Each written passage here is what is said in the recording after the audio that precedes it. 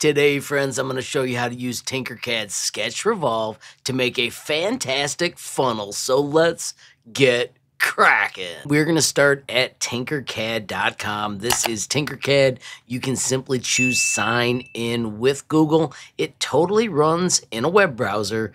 This is the homepage. These are all the designs that you create. They are all private unless you choose to make them public. As you can see, you can make some pretty fantastic parts.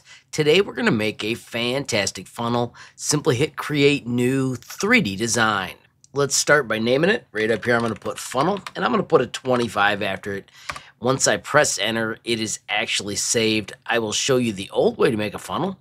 We simply did it with a cone. If we go back here to the workspace, this is what it looks like when a project saves. Bang, the design obviously has a little view so you can see what it was, and you can simply hit tinker this to get back into your project. Now we used to take two of these. I'm going to do this real quick. Stretch, make it larger. I'm going to do control D to make a second one. I'm going to turn it into a hole. I'm going to make it a little bit smaller. And then if we select those, choose L for align, center, center, and do control G to group you can see underneath it's trimmed out and the start of a funnel. This was okay, it worked pretty fast, but check out the brand new Sketch Revolve. Make sure you drop it in a 20 by 20 grid. Notice the dotted line in the middle is lined right up with that spot. Once we do that, these grid lines match up. This brown line is the zero line, and of course it has a zero right here. This is 10 millimeters because of the way I have the grid set up. You could change it to inches, but I don't recommend it. And then I'm going to make a cool funnel using just straight lines. We could use Bezier curves, but we're going to use straight lines. If you've never seen the sketch tool, let me just show you this super quick. If you hit Sketch Features, Tinkercad has an awesome page with animations explaining all the different things we can use. You can click through these at your leisure. They are all awesome and they're updated quite a bit. When you're done checking them out, just make sure you continue back to Sketch. If you prefer my tutorials, of course, you can check up here. There is a bit.ly or in the video's cards, you can find all of my tutorials. So we're going to make a funnel that has a diameter of 8 centimeters. So all I do is I come out here 4 centimeters and I start creating. I want to make a lip, so I'm going to go up one millimeter.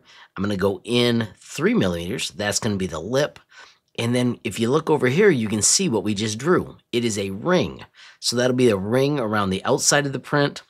I'm going to move up one, two, three, four centimeters, but then I want to have an opening of eight millimeters. Notice I left four, which would be the radius. It'll extend over here for a total of eight. I'm going to choose to make the opening 8 millimeters, and then I don't need to click over here. I can just hit escape to end the path. It instantly creates a funnel that you can check out from every angle with the cool little view over here. Now we can modify this. If we click on the stroke settings, currently it has 2 millimeter walls. I know that I want 1.2 millimeter walls. So I'm just going to change the number. You can also change it so that it ends with a different shape. I'm going to make it so that it ends round.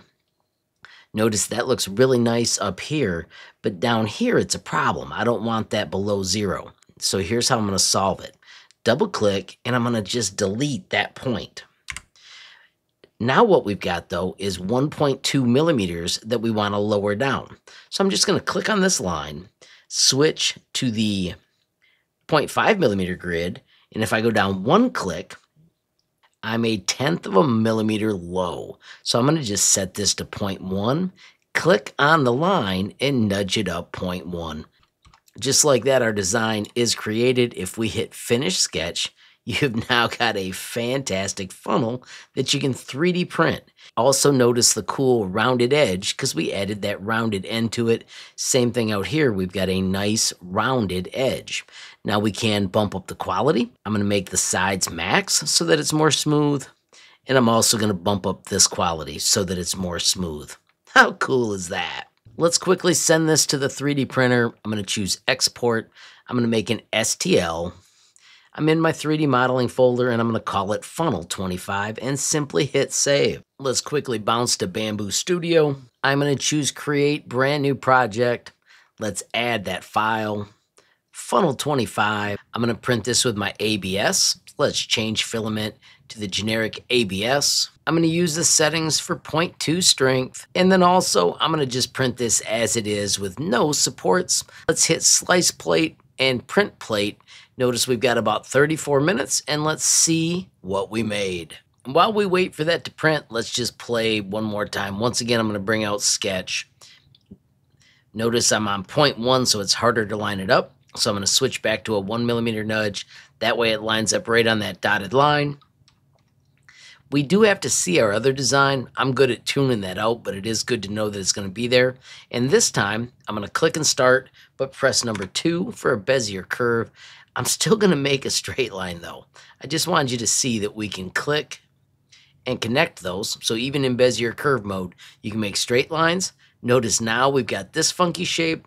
If we double click and double click, it auto smooths and you've got an instant donut. Say though you wanted this to be like a half circle, Oops, I double clicked. We'll just do Control Z to undo that. Say instead I wanted this to bend inside.